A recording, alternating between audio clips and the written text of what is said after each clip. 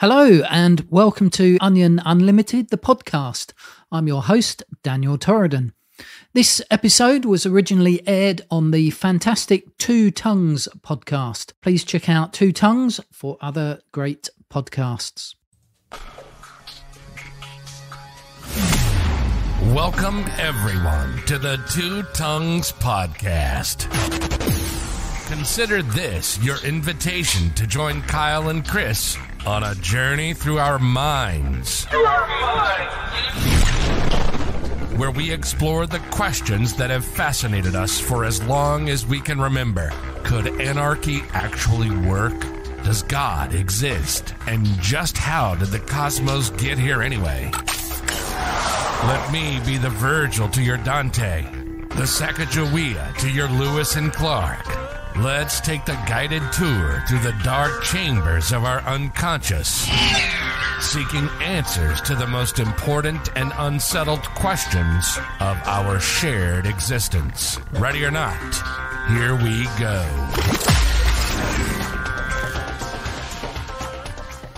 Here we go, indeed. Here we go. Daniel, do you want to do you want to do you want to talk ascension or do you want to talk dreams?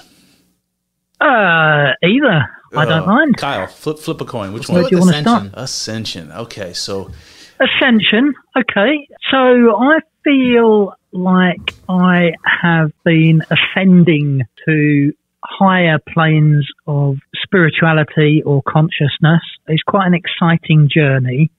I think years ago I was somewhat egocentric. I wouldn't say I was particularly competitive, but there was always a, a kind of feeling of me and everybody else in my life. And then I guess around about 2004, I did a lot of thinking, a lot of meditating. I actually did a life coaching course, which, uh, as part of the uh, coursework, you had to be quite brutal with yourself in terms of your personality traits and that kind of thing. Mm. And around about that time, I kind of started wake. I'd say I, it was like a waking up experience coming out of a, a kind of fog. And uh, it was, it felt kind of a move from the physical to the spiritual. Now, I'd always thought of myself as spiritual because I was religious, mm-hmm. very religious as a Jehovah's Witness. You know, I used to read my Bible and I used to go to church, Kingdom Hall. right. I used to do all the things that you were expected of you as a Jehovah's Witness, but I wouldn't say up to that point I was particularly spiritual. I was religious, but not spiritual. I kind of went from that point to there was a period of time where I was actually put out of the church because I questioned some of the uh, doctrines that I, I didn't think were correct, and I got expelled excommunicate, uh, excommunicate, uh, disfellowship, Mm. they call it in the Jehovah's Witness Church. And I was out for three years, and I think those three years were the most spiritual time of my life. I spent a lot of those three years up in Scotland, up in the Highlands. I did a lot of writing, songwriting, poetry. I spoke to a lot of other people that were spiritually minded that weren't Jehovah's Witnesses. And then I did a stupid thing in 2009 for the sake of my family, because as a uh, as a disfellowship Jehovah's Witness, I was being shunned by my family as an apostate. Mm. I capitulated and went back to the religion and basically said, I'd like to come back. I'll keep my mouth shut. I won't discuss any of the things that I'm not, you know, that I don't believe. I'll be a good boy. Mm. And they let me back in. And I can almost say that overnight my spirituality felt like it evaporated. Mm. And I spent the next 10 years jumping through hoops religiously, you know, kind of attending the church services, preaching to other people, the doctrines, etc., and generally feeling quite conflicted. In my heart, I kind of knew, mm, you know, I don't believe this. I don't believe this is truth. So again, I kind of got very religious, but there was something missing. Now, in 2019, my uh, my marriage ended, Um, I wasn't happy in my marriage, and um, one thing led to another, and my marriage ended. I was divorced. I was kicked out of the church again. And almost instantaneously after leaving the church and losing everything, I think this is important. The loss of everything I had in terms of my home, my family, my relationships, my friends, my religion, everything. I lost it all overnight because everything was connected. Right. I suddenly felt very spiritual again. And the association I made after this happening twice to me was that when you lose everything, it kind of brings, when you lose everything physical, whether it's possessions or physical relationships with people, it brings your spirituality into focus. Mm-hmm. That's that's very much how it felt. And I found myself in a position where, because I was no longer subscribed to a religion that expected certain things of me, I could then explore things that I couldn't before. For example, you know, Hinduism, Pandeism, Eastern spirituality, that kind of thing. As a Jehovah's Witness, you wouldn't be allowed to meditate, for example. Really? That that would be prohibited. Well, you can pray, but you can't meditate you can pray, but you can't meditate mm. because the idea is that if you clear your mind enough to lose yourself, you know, your ego, mm. they have this idea that you're basically opening yourself up to wicked spirits from another realm. I know, a lot of Christian devils and yeah, I know a lot of non Jehovah's Witnesses uh, Christians who who feel the exact same way.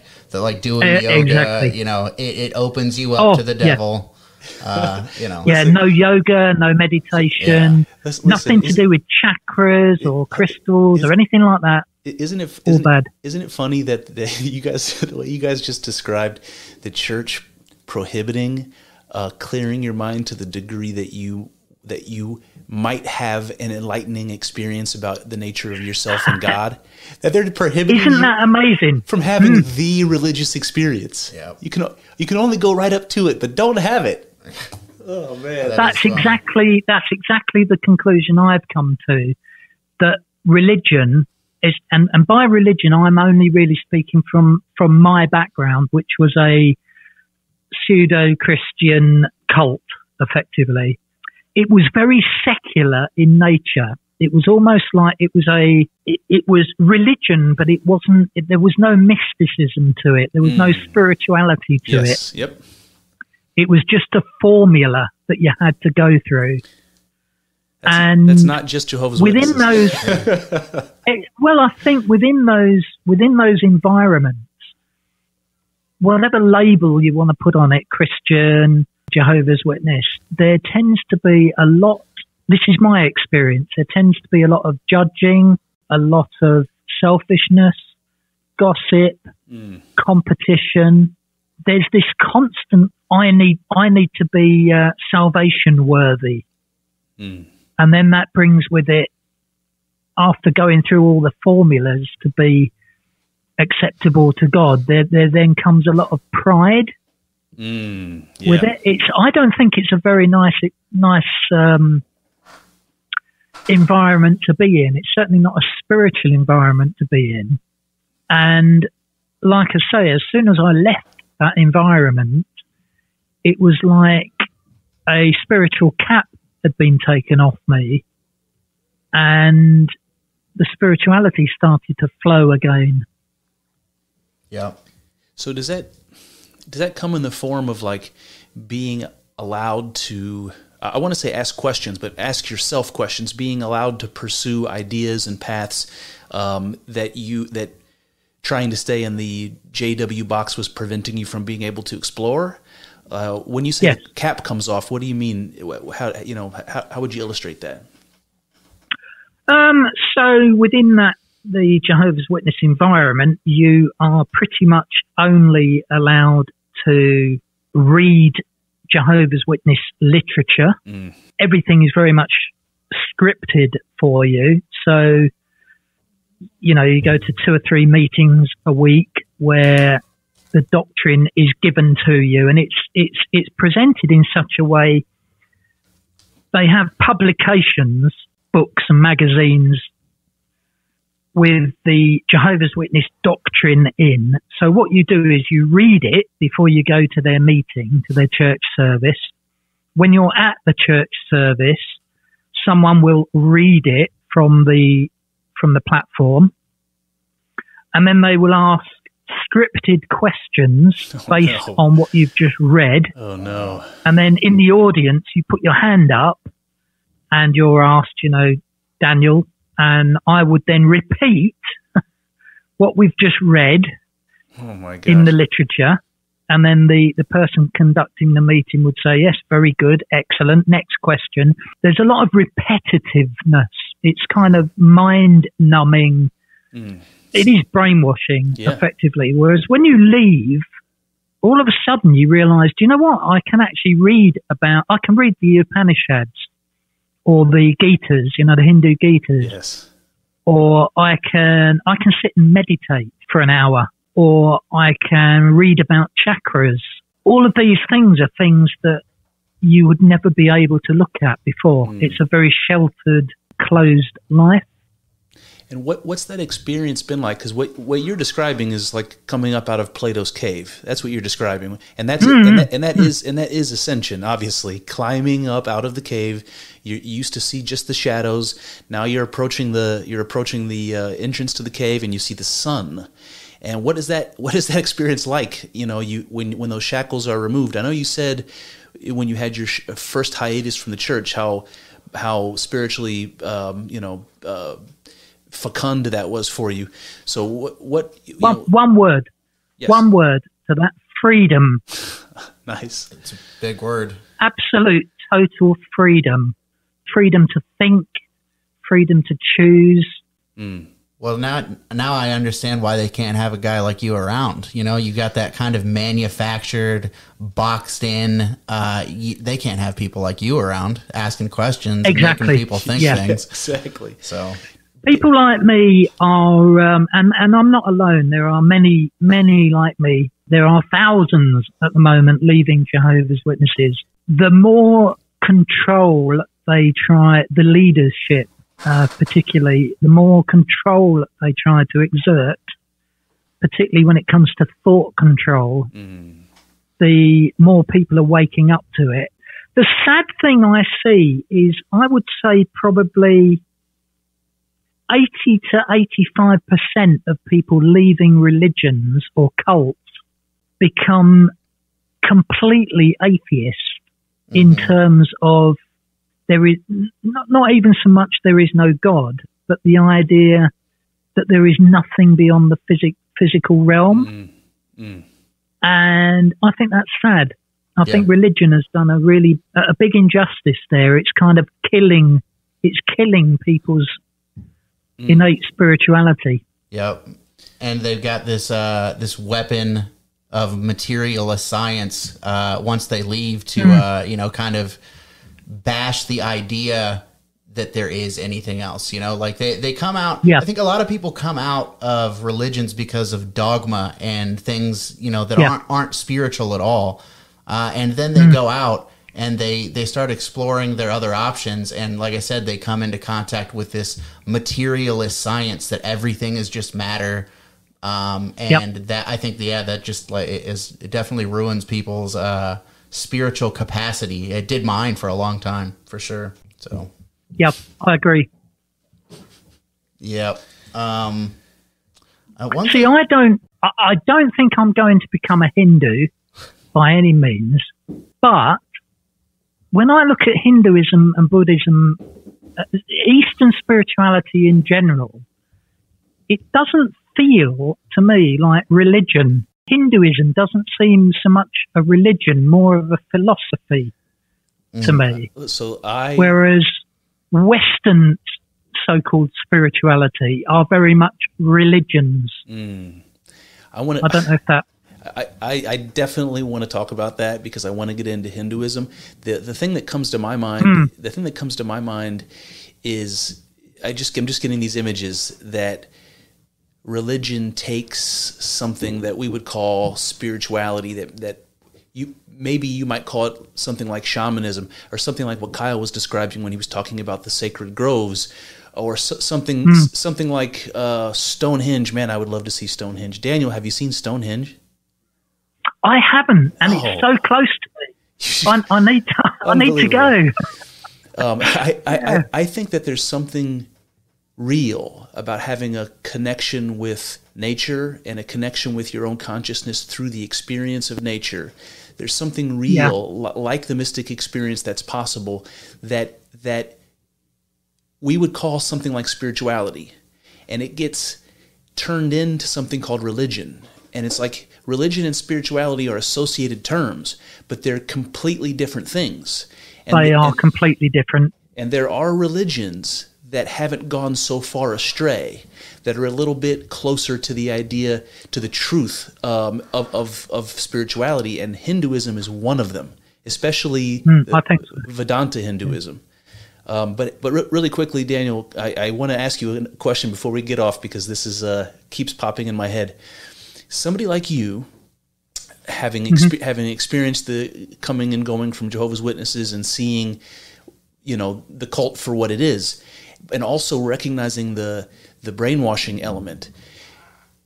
Do you do you are you more sensitive to the propaganda and political ideology you know because because it comes from the religious realm but it also comes from the political realm are you more sensitive to the bullshit and the propaganda and the brainwashing that the political brainwashing Yeah. that's going on Absolutely.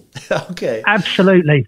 Yeah. I think I think when you've been in that environment and you wake up, you you suddenly realise that the the world is full of people that want to control other people.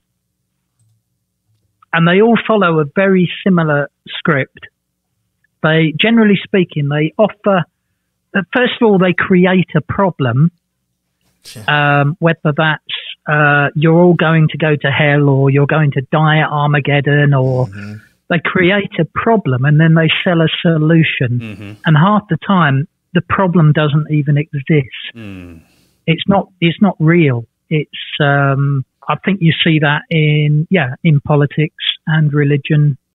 You heard it here first and even in, uh, even in even in commerce, I think you see it in how many different products are being produced for problems we never realised we had.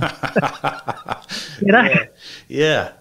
You need to buy this because oh yeah, I need that. You know, it's it's funny, Daniel, because I have a professional background in finance, you know, and uh, Uh-huh. and, and in economics, you know, um, uh, the the the phrase that you often hear is that you know if you want to start a business, all you have to do is recognize where there's an opportunity, wherever responsibility is being a- abdicated, that's an opportunity for a business, and um, I- and that and that makes perfect sense, but it doesn't take into consideration the point you just made that you can solve a problem or you can invent a problem and sell the solution.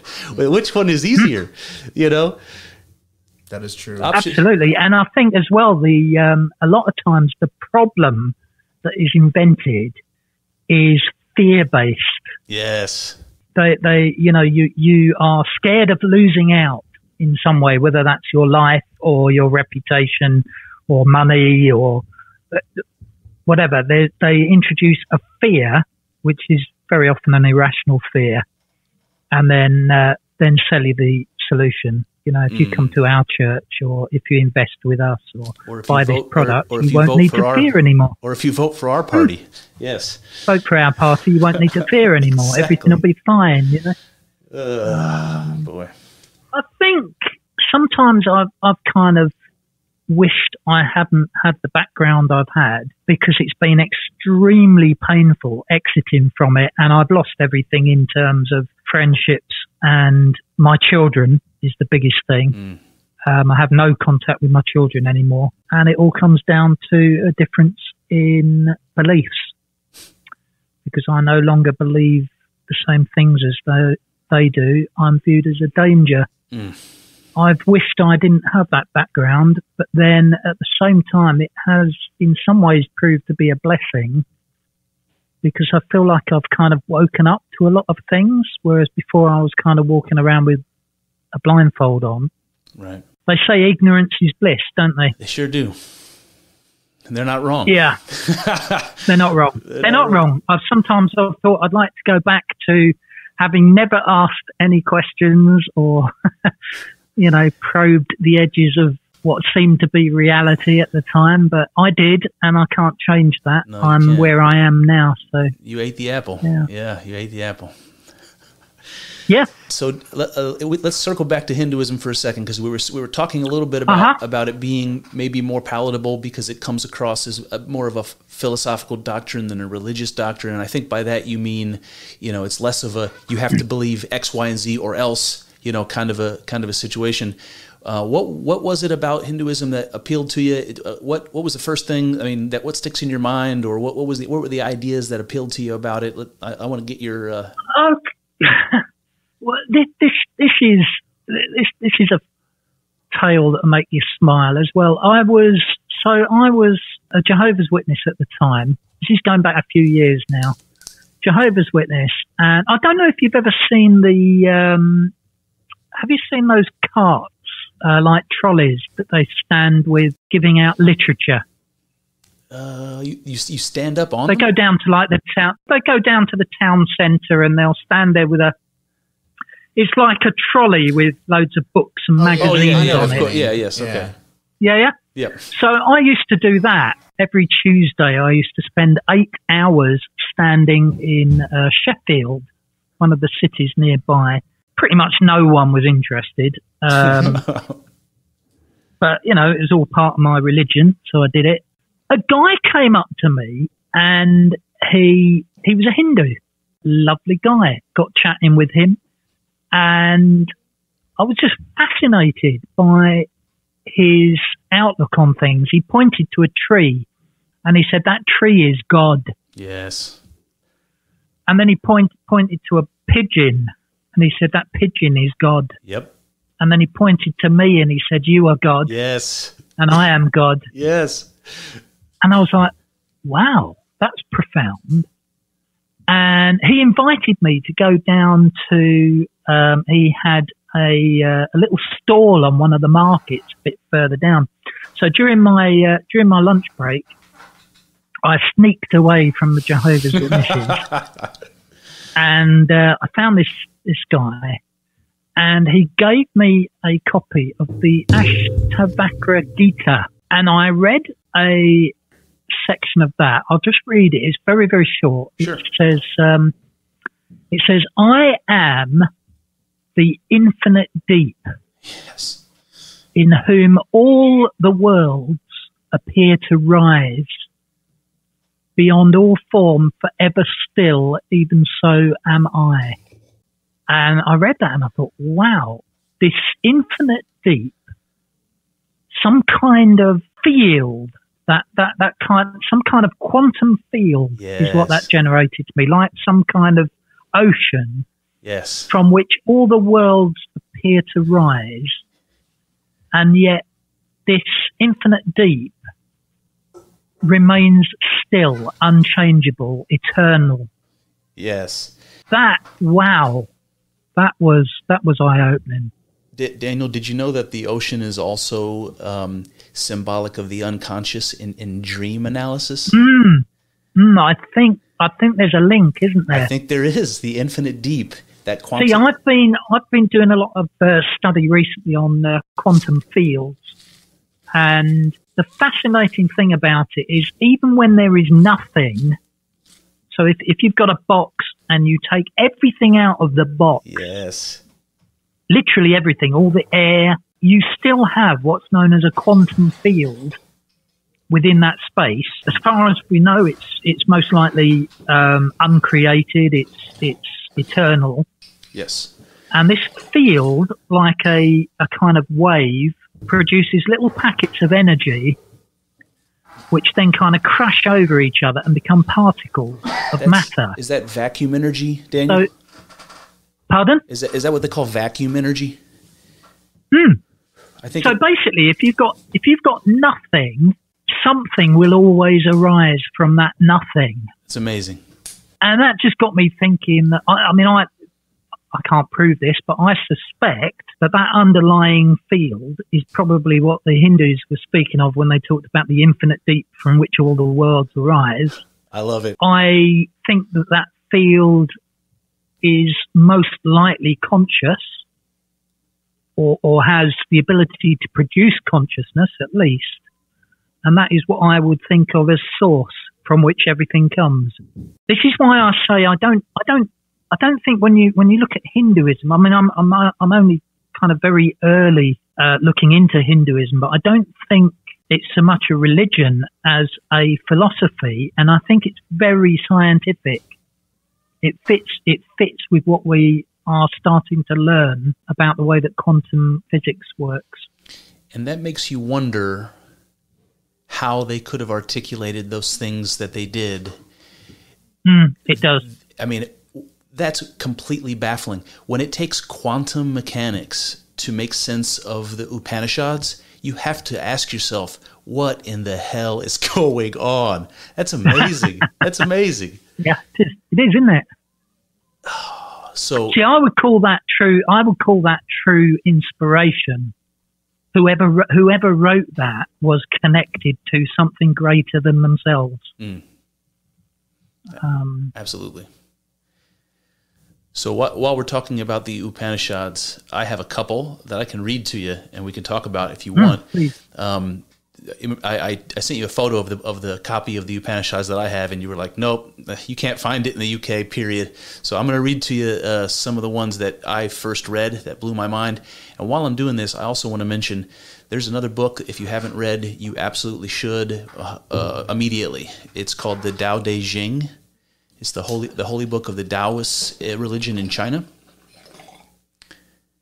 Are you familiar with that I one? think I'm. I think I. I think I may have just downloaded that Okay, not so long back. you will. I'm reading a book at the moment called The Divine Matrix. So when I've finished reading that, I'll I'll probably move on to that. Okay, good. I, I want to ask you about the divine matrix also, uh, but uh, Okay. but yes, it's uh, one of those things. It's very easy to read. The passages are written in a very poetic way, and I, you, I think you will appreciate. And very similar. Many of the passages are very similar to the Upanishads. Um, but uh, but okay, all right. I'm going to read a couple of these for you, um, and I would love to be able to pronounce the. Uh, um, the, the the names of the Upanishads, but I'm not even going to try. So uh, I'll just I'll just preface this by saying the first thing I learned about um, Hindu beliefs that kind of struck me as powerful is an idea that's really not unfamiliar, and I don't know why it would have made such an impact on me. It's the idea that that there's a spiritual essence behind everything, and the spiritual essence behind you, your soul, um, is called At, is called Atman in in uh, Hinduism, and then the spirit, the the grander God version, the the thing behind the cosmos is something called Brahman. So you've got Atman and you've got Brahman. It's like the personal soul, the individual soul, and then the universal soul. And when you die, or when, when you're born, or when you die, you're basically being recycled. Your soul, your Atman goes in and out of Brahman, in and out of Brahman. It goes into Brahman and into the world, into Brahman, into the world, that sort of thing. Uh, so that's the idea of, of reincarnation, in, in- you know, in a nutshell. And um, the idea that there was this connection between your soul and God, that idea blew my mind. You know, it's like as a Christian, you're taught you have a soul, you have a spirit, and it's holy, and it's the thing that causes you to be alive. But never does anybody say it's also the thing that God is. Nobody ever says that, and that's that's the part that makes the hair stand up on my arms. Um, by the way, Daniel, if that, that Hindu gentleman that introduced you to the Upanishads and said that you know the bird is God and you're God, eh, if he would have said that to me, especially when I was a teenager, I, I I'm just picturing. I don't know if what you guys have in the UK, but in the United States, we have these uh, these people that will hang out at uh, uh, shopping malls or public places, and they're recruiting for the military. And their job is to make the military sound really awesome to a bunch of teenagers, so that they will blindly sign up. Uh, that that happens here, and that's what it reminded me of. If that Hindu man would have came up and said, "The bird is God and you're God," I would have been stoked. I would have been following him to the ashram. I would have I would have been on my way. I've been shaving my head. okay, all right. So all that all that leading up to this. So here we go. Um, here's the uh, couple of Upanishad passages. First one goes like this: One should meditate on mind as Brahman. Okay, so Brahman you can think about as God with a capital G. One should meditate on mind as God. Okay, it doesn't get any more panpsychic or, or, or pandeistic than that. Meditate on mind, on your consciousness as God. As God, I am. Exactly. All right. Here's the next one. The next one. It's, it goes like this He is a wise man who sees all beings in, in his own self, and his self in all beings, thus realizing the unity of existence. Wise is the man who hmm. sees all beings in his own self, and his self in all beings. That's the oneness. That's the oneness that, that the mystic experience describes. Here's another, Daniel. He who understands vidya, and that means the changeless reality, and avidya, Yes. th- that means the universe. So I'll read that again. He, hmm. he who understands the changeless reality and the universe, both together, conquers death through the knowledge of the world, and attains immortality through the knowledge of God. And that makes the hair That stand- make that. Oh yeah, that make that makes the uh, gives me goosebumps. I got them too, man. I think our goosebumps are quantumly entangled because I've got them too. Oh, I never got that feeling from religion. well, there, there you have it. It, this is this is on another level, isn't it? Absolutely. At, at the same time, though, Daniel, let me let me do this to you. Let me do this to you. That last part where he said, "Through knowledge of the world and attains immortality through knowledge of God," hmm. achieves immortality through knowledge of God. Now, I'll read you another passage. This one's from Timothy, and which now has been manifest through the appearing of our Savior Jesus Christ, who abolished death and brought life and immortality to light through the gospel. Or the book of Revelation, which says, He will wipe away every tear from their eyes, and death shall be no more.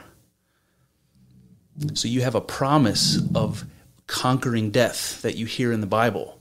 And when you compare it to the Upanishad, who promises that knowledge of God will allow you to conquer death, then I start to think about my own uh, religious background a little bit differently. Then I'm thinking to myself, maybe there was something to this these these biblical passages that I didn't see.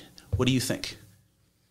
I I agree. So when I was a Jehovah's Witness, it was drummed into me that we were the only organisation on earth that understood the Bible or could interpret it. All the mysticism was sucked out of it. Mm. Everything was kind of explained to be describing the organisation I was in. Once you leave that environment and you can start looking at the Bible in a different light, mm-hmm. allowing the Bible to interpret itself rather than the doctrines and the dogma, there are, I think there's some very mystical passages in, uh, in the scriptures. Oh, absolutely. Um, and and I, I did not appreciate that when I had when I had my first mystic experience back in 2019. I saw things I saw things so differently for the first time, and, in fact, what comes to my mind, and I wanted to talk about this in a different uh, context, but the story of uh, the story of Jesus um, being baptized by John the Baptist, and it's just really short. It goes like this. This is in Matthew three. It says, "When Jesus came up out of the water, heaven was opened, and he saw the Spirit of God descending like a dove and alighting on him, and then a voice saying." This is my own son right? So you've got this mythical story, real quick, just one, two sentences, and it paints this beautiful picture. And you can imagine all these Renaissance paintings of this picture of Jesus being baptized by John the Baptist and coming up out of the water. And I would have read that and thought, that's a flowery, you know, poetic way of trying to make this this metaphorical point in this in this gospel. It has nothing. It has something to do with manipulating the people reading it. it has nothing to do with spirituality. Then I have a mystic experience, and it feels like the spirit of God coming out of the sky like a dove and saying to me, "You are you are my own." You know. So that that's sort of along the same, the same lines as what you just said. It's like, go ahead. Yeah. Well, this is interesting because you know, um, Christians speak of, or many Christians speak of the born again experience. Yes. Where they receive the Holy Spirit of God and they are born again and become a child of God, etc. Um, within the Jehovah's Witness Church, they they do believe that, but they believe it's a very limited number of their membership that that get that experience. They uh, interpret the uh, the Revelation scripture where it talks of 144,000 bought from the earth. Mm. They say there are only 144,000 Christians. And you were one of them, that right? Receive. Well, for the most part, Jehovah's Witnesses are not. I mean, there's 8 million of them, and they say in all time there's only ever been 144,000 of these anointed ones. All of the leadership, interestingly, claim to have had born again experiences, but to me, they seem extremely unspiritual people. Mm. 2004, when I had my spiritual awakening, that was the only framework I knew.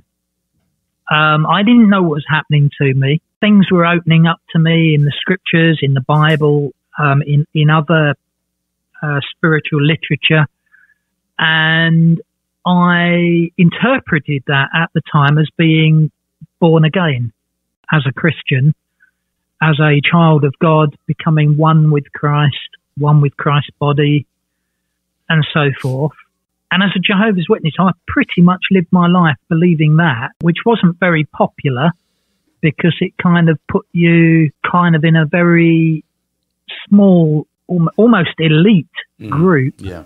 You know, these anointed ones or born again ones were kind of to be looked up to as as kind of um, almost quite special.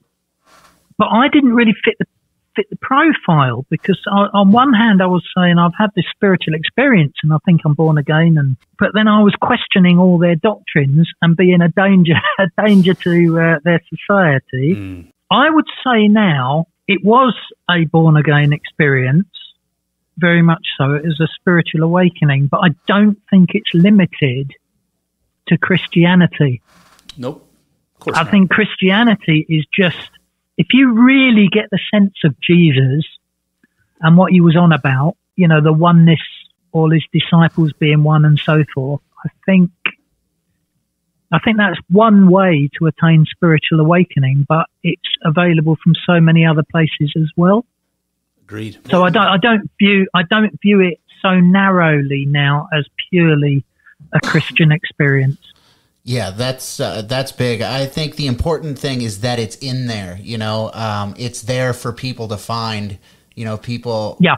Um, not everyone's going to, um, but I think that there are a lot of Christians who they're they still have a lot of the dogma aspect of the religion, but I think that there are a lot of Christians who are really close to that, who kind of do, you know, understand.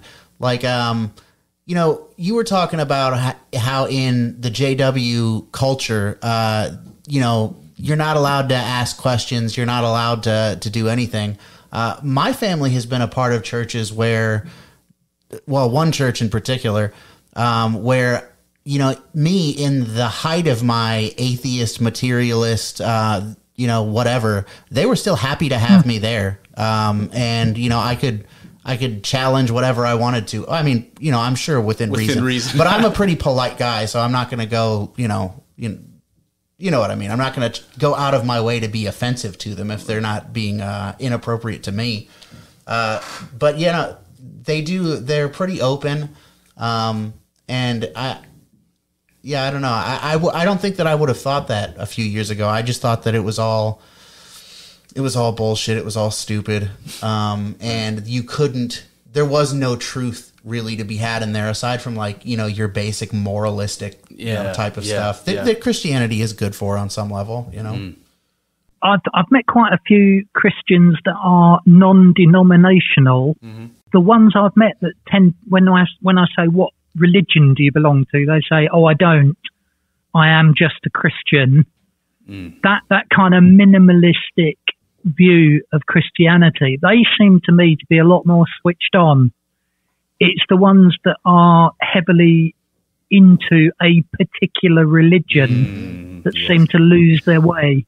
See, I think think you're sensitive to that.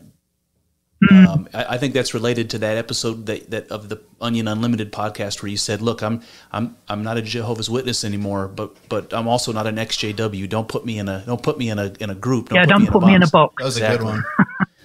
Yep. Yeah. Um, so the thing is, well, the, the minute you introduce religion into the picture and a church, it comes with a lot of baggage, doesn't it, in terms of their particular interpretation of scripture or their particular rituals mm-hmm. or their particular beliefs. And mm-hmm. it's, I think that runs a risk of then losing the purity mm, Yes. that is perhaps in the gospel accounts, for example. Mm-hmm. Something I've said for a long time is that, I mean, it makes, I, I think even when I was at the height of my atheist period, I, the idea of people believing in God didn't really bother me that much. It's just like the more claims and like baggage you start putting on it, the less likely I am to believe. It's like you're being too specific. You're making way too many claims about this thing That's it. that when you Yeah. start when you talk to people who are like spiritual and you ask them a question they're like i don't know i have no idea you know it's like beyond me on some yeah, level That's more honest. That's Yeah. more honest. Yeah. Honesty. Yeah, that's it. Good. Yeah. Are you want you want more quotes from the Upanishads? it's fine with me D- Daniel. Yes, please. Daniel, I've got a couple that I can I can actually show you a little bit of the contrast between the Upanishads and the Tao Te Ching, maybe to get your uh, your interest, to pique your interest. So, I was talking a little bit a little bit about Please. At- Atman being the personal soul and Brahman being the, uh, the the universal soul. So it goes like this: The Atman moves and it moves not. It is far and yet it is near. It is within all beings and it is also outside of them. Okay, that that's the Upanishad. And I think this is something similar from Taoism. It goes like this This is why it is called the form of the formless, the image of nothingness. Meet it, and you do not see its face. Follow it, and you do not see its back. what do you think? Mm. You're within and without. Yes, That's the idea with that, isn't it? yeah, absolutely. It's what I call the union of opposites, the Ouroboros. That's This some- is that's touching on fractalism again. yes, The idea that yes, we're, we're like fragmented instances of the whole. yes. This guy gets The it. divine matrix touches on that a little bit, actually. oh, the divine matrix Hmm. that's a who, who wrote that book Uh, i just i mean it's no big deal i was just curious if it's anybody whose name that i know uh, but you talked about that book earlier uh, you Yeah. said you wanted to talk to him about it uh, yeah. If this if this is a good time to squeeze it in, uh, absolutely. I did want to ask you about it. the basic idea there is a grid that runs throughout the entire universe.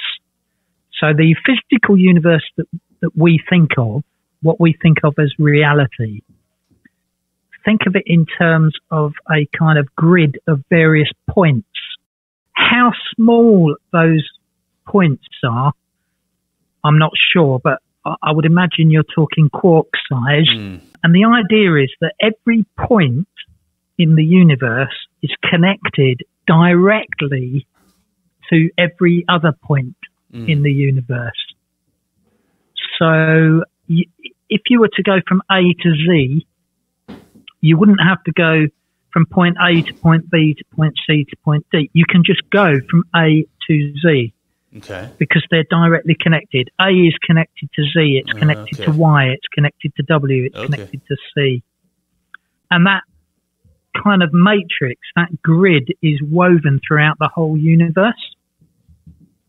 It explains things like quantum fields. So this idea that this grid is kind of a field that is ag- that you know waves are agitated and that's where physical matter arises from.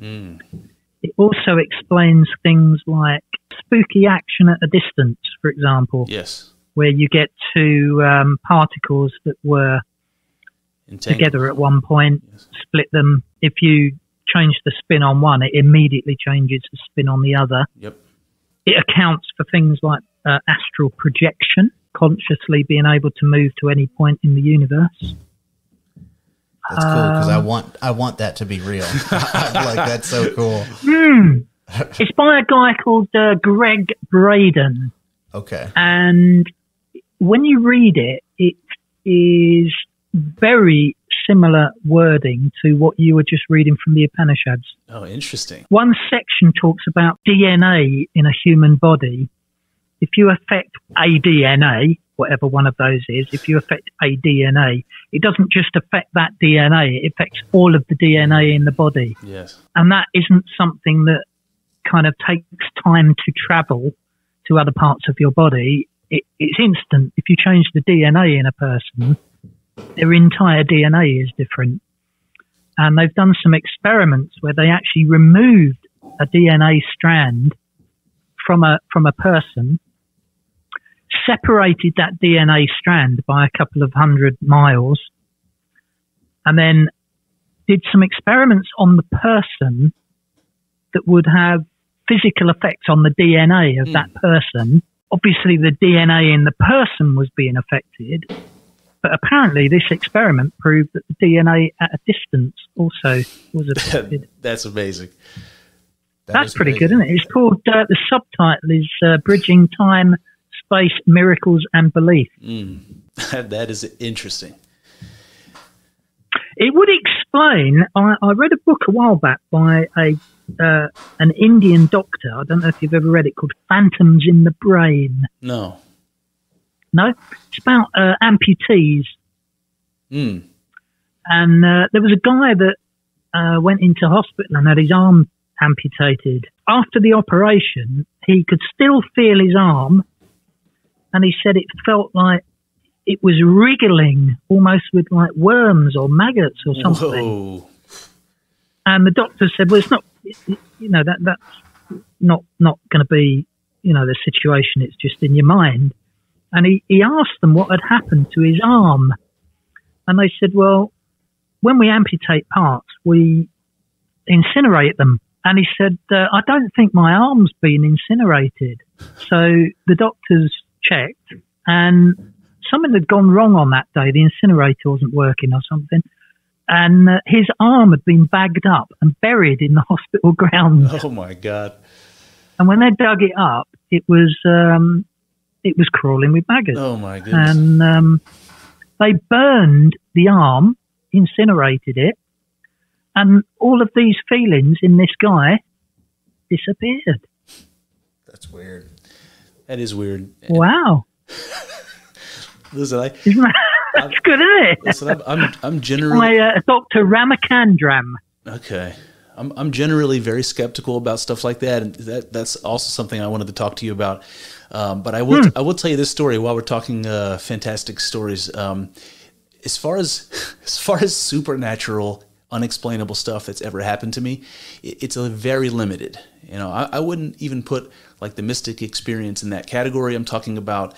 Um, seeing you know seeing ghosts or, or anything any any unexplainable kind of thing like that. Um, I had it I had it uh, well uh, I don't know how specific to be here. There was somebody I knew once upon a time that um, that would write in her sleep. She would write things in her sleep, and she the reason she would she would wake up and find the writing. That's how she knew she was doing it, but she didn't have any memory of writing in her sleep. So at one point she shows me a piece of writing and it was on a piece small piece of paper and there was a phrase written on it in cursive with no spaces in between the words so the whole thing was written the whole sentence was written as one continuous Cursive word. cursive word yes she has no memory of writing it i can't remember exactly what was on this page but what happened was about a year later i was reading the divine comedy Da- dante's divine comedy and i mm-hmm. and i read that passage from the divine comedy That's crazy. and I, I found that piece of paper. I compared it to the Divine Comedy passage, and it had some word differences, but it was almost identical, almost identical. And here's the strange part: the the person who wrote this has zero interest in religion, had zero interest in the Divine Comedy, would have no idea who Dante was. You know, not somebody who you would ever expect. Uh, I don't know how you explain that, Daniel, but that's that's one example. I, I would say that comes back to the fact that we are all one. Mm.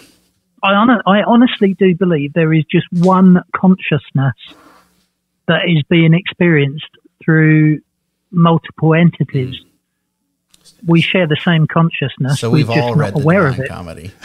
exactly. We've all read the divine. We've all written the divine comedy. Ooh, I love it. I love it.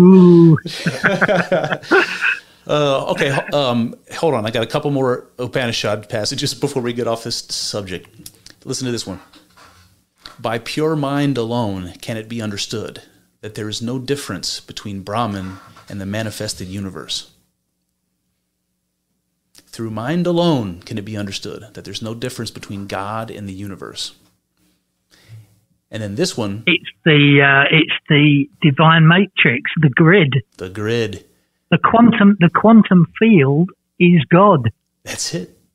Uh, when Kyle and I talk about it on the podcast, we usually call it the uh, what do we call it, Kyle? We call it the uh, the, sure the Terminator Two. Oh, yeah. the Terminator Two substance. Uh, I don't know if you remember that movie, but the villain from Terminator Two, he, he was that liquid metal that could become anything. It's that pure potential that's That's it, yeah. behind reality. All right, this Yeah. here- here's one. This one this one's short and sweet and really good. This Atman is Brahman. This Atman, he, he's saying, I am God. When he says, this Atman is Brahman. Yeah. And that makes the hair stand up on my arms. That's fractal again. Yes. What we are is, uh, as individuals, is small versions of the the the greater whole, the Brahman. But there's essentially no difference. Yes. If we were Brahman, we would feel the same. I'm just nodding over here. I'm nodding uh, in agreement. Um, here, listen to this one, Daniel. This is from the Mundaka Upanishad. It says, As a spider emits and withdraws a web, as plants grow from the soil, and as hair grows over the human body, so does the universe spring out from the eternal Brahman. That's good. I like that one. That's good. Yeah. Oh, boy. Okay. Oh, I won't bore you. I've got more, but I won't bore you with them. You said you had a um, quote by Henri Bergson. Yes, yes. Let's let's read this one. So I, I have to say, you- um, you remember earlier when I referenced um, on Twitter sending you that uh, that uh, invite thing for that that doctor that was going to speak about psychedelics and consciousness. Um, I Yeah. I actually heard about Henri Bergson from him on Twitter, and he posted this. Uh, passage and since I, I've bought a couple of Henri Bergson's books I haven't got into but I'm going to but here's here's how it goes it goes like this The question why anything exists presumes that reality fills a void, that underneath being lies nothingness. This presupposition is pure illusion, for the idea of absolute nothing is like that of a square circle. All right, Daniel, go. Go. Um, that comes back to the quantum vacuum again. The fact that there never is any, there, there never is nothing. Yes, There can't be nothing. yes, yes. Couldn't agree more. And that idea, that idea of vacuum energy that you brought up earlier, that you could suck everything out of a space, and as, as much as possible, you can remove everything from a space. And when you do that, you're still left with this quantum field that produces vacuum energy. You can never get rid of it. That there is no such thing as nothing. And at some point, if agitated enough, it will produce particles. Amazing, amazing. Hmm. There's a guy called Neale Donald Walsch. Hey. don't know if uh, he's written a series of book called uh, books called Conversations with God, Okay. where he he speaks with God in these books. It's kind of a, I think he's a he presents himself as a channel. Something I read the other day. It said uh, the soul, the soul is the universal life energy, focused and localized and vibrating at a particular frequency in one specific time and space. Mm, yes. I, I love So that. even the soul, the consciousness is a is something that arises from that quantum field. Mm.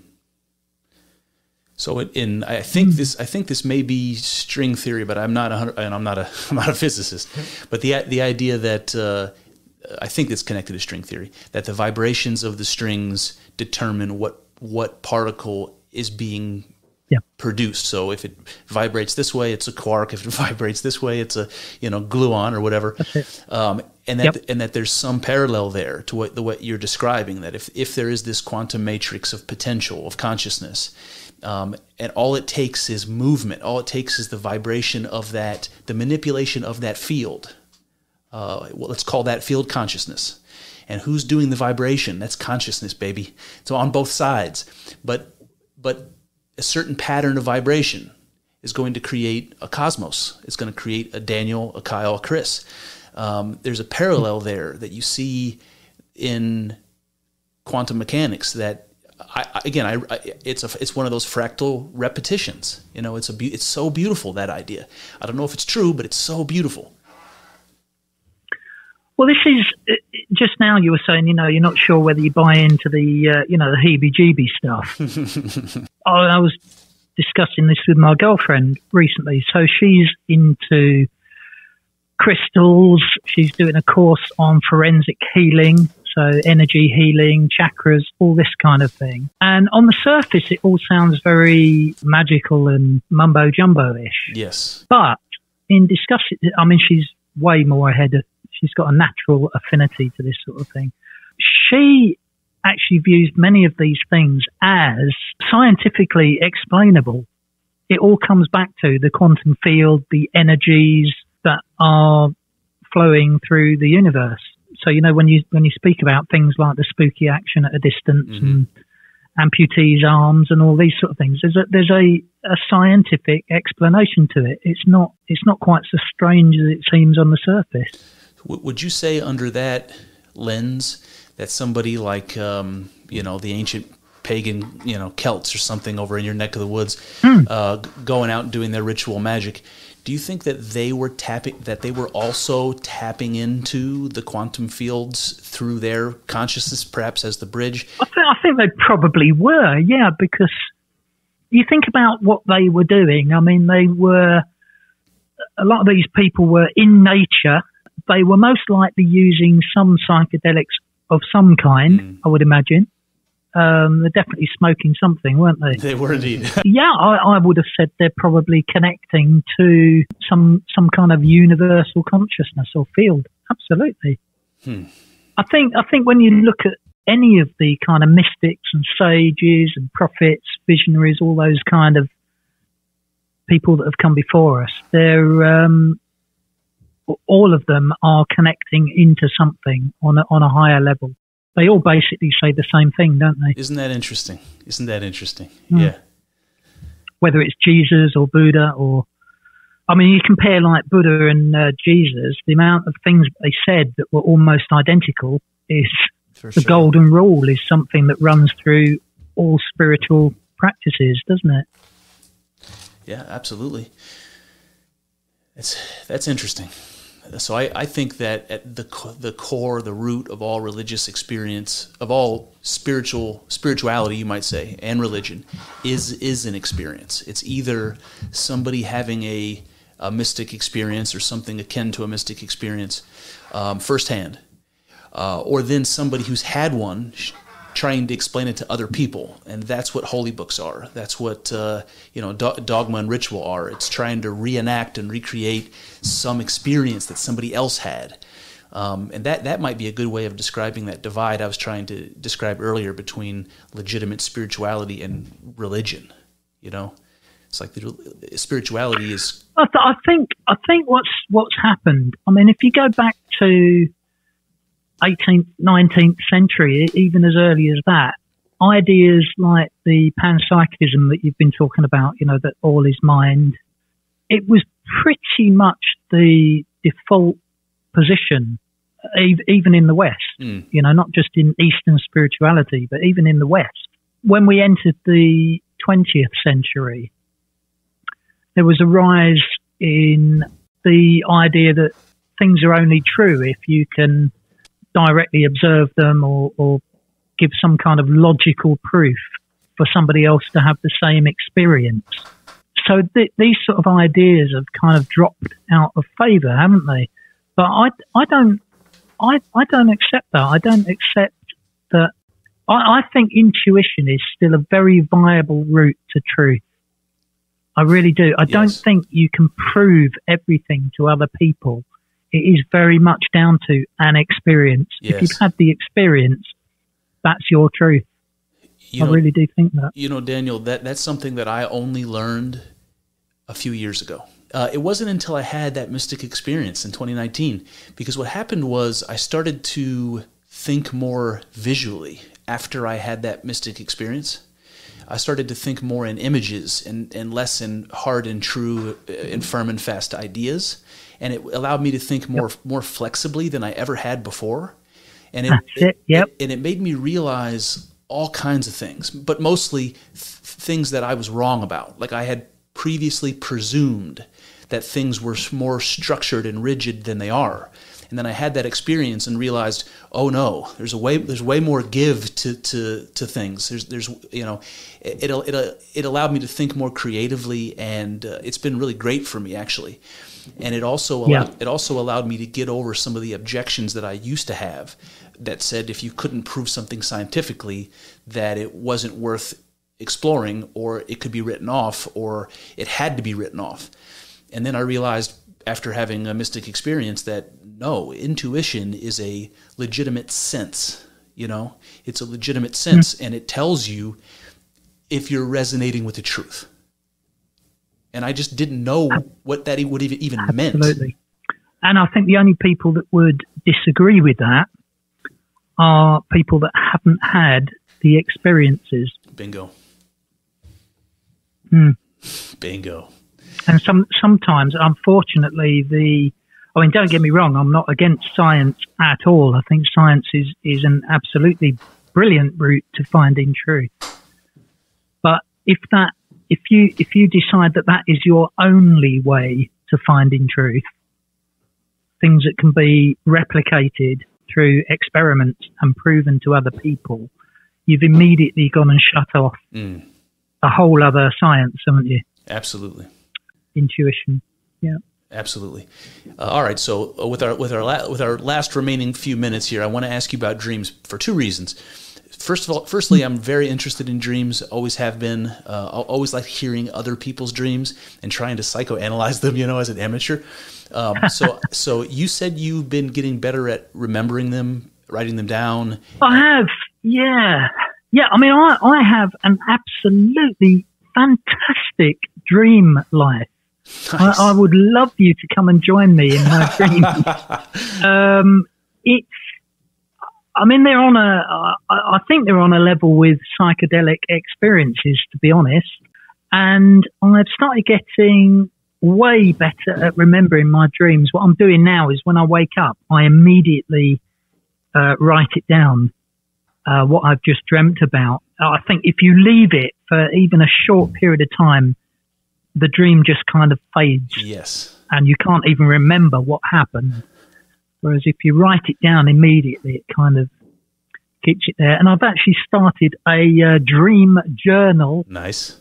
uh, on my Onion Unlimited website. Oh, okay. Great. Uh, and uh, yeah, it's really it's really out there.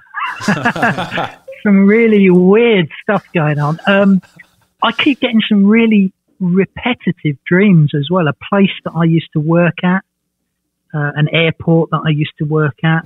I fly a lot. I do an awful lot of flying Interesting. in my dreams. And my girlfriend actually uh, interprets my dreams for me. Ooh, hey, So uh, I tell her what my dreams are each morning, and um, she uh, spends a bit of time going away and figuring out what it all means. So I'm gonna I'm gonna take a crack at it right now, really quickly. Go on. Dream interpretation. Okay, so you, you just said you were dreaming about uh, flying an awful lot, and I imagine in different contexts. Flying. And my mind Yep. my mind immediately went to ancient Egyptian hieroglyphs. So if you've ever seen the ones that that are supposed to uh, represent parts of the soul, one of them is a face with wings. So it's the part of you that, that can f- flee your body, it can fly away, your, your, your consciousness, you know? Um, So I'm thinking about you, well, I'm thinking about birds like like the great flood, right? And they, Noah, Noah sends out the birds and they're out flying around trying to find purchase. And they come back if they can't find purchase. So these are the images that are flowing through my head while you're describing that. And I just wonder if that has something to do with feeling like you're like you're out at sea and you're looking for your solid ground. From what I've uh, been able to make of it so far, a lot of the dreams that I'm experiencing are working through some of the trauma and loss. I think that that seems to be a way that my mind is is kind of piecing things together there. And the things like flying and uh, yeah, I do a lot of that.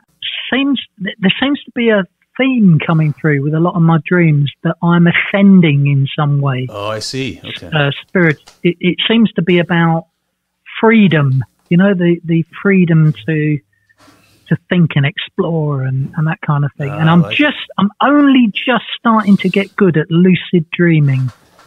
Only just started on that, so Okay. Well, hold on. I actually pump the I brakes. can actually know that I'm dreaming. Let- tell me about the first time that happened. The first time you noticed that you were dreaming and didn't and didn't wake up.